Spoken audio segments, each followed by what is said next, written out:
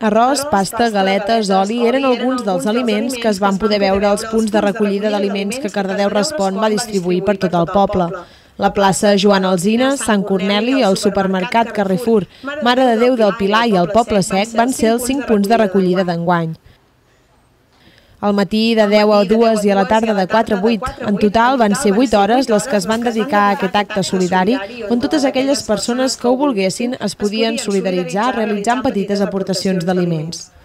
El que més et donen és pasta i llegum, que és, en definitiva, potser és el que fa més falta. Però bueno, tot, tot és ben rebut, perquè mira, aquí tenim les llistes i ara actualment el que portem més és pasta, arròs, llegums, llaunes de, de, de tonyina, de sardines, eh, en fi, tot el que es demana sempre. La iniciativa ja compta amb el suport de diverses associacions i de l'Ajuntament i segueix treballant per conscienciar els cardedeuencs de que l'actual crisi afecta sobretot els més necessitats. Enguany, al final de la jornada, es van recollir gairebé i va ser l'aliment més donat amb més de 350 més donat amb més de tal. També van haver-hi moltes aportacions de... 27 quilos. Ara, amb el recompte fet, Càritas s'encarregarà de repartir tots aquests aliments entre aquells cardedeuencs que més ho necessiten.